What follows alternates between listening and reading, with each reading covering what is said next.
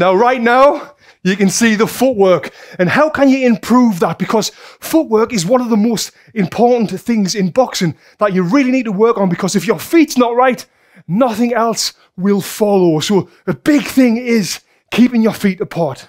One of the most common mistakes I see in the gyms is this. Bringing the feet out. And it's kind of what people do for a rest. They'll throw punches and they'll come here and they'll rest. But think about this. If I'm in a fight and I'm here, I'm off balance. I can't throw any punches. It's a terrible position to be in. Now, I get it. If you're out of range, you can do what you want with your feet. But you want to be always practicing for perfection. And with that is keeping your feet apart. So I'm moving, no matter what direction I'm going in, my feet are apart. Reason being, I can throw any punches at any time when my feet are apart. So I'm here. I can punch. Now, another thing is when you're moving to your left, always move your left foot first. Because I see when people will be moving, they'll cross their feet and they'll be like this. Again, look at this position. Terrible position to be in. We always want to keep them feet apart. When you're moving to your left, left foot first, moving to your right, right foot first. And this, again, will put you in the position to throw the punches. Because if you move to your right and you move your left foot first, I'm in a terrible position here.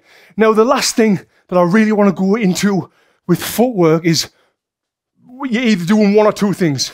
You're either moving, planting your feet, then punching, which is great to get power in the punches. So I'm moving, plant my feet, bah, bah, bah. Or the other thing is stepping and punching at the same time. So what I mean by that is if I step to my left, I can throw the left hand. If I step to the right, I throw the right hand. Now the punch and the foot wants to really land at the same time. So if I want to throw one, two, I'm out of range. I want to step in with bah, bah, bah, bah. The punches and the hands are landing at the same time. So again, I'm out of range. I'm going to step in with a one, two. Bah, bah. Now, as you've seen there, loads of power in the bag because the momentum of the movement is increasing the power and I'm stepping and I'm punching. Them is the things you want to think of. Keeping your feet apart. Moving left, left foot first. Moving right, right foot first.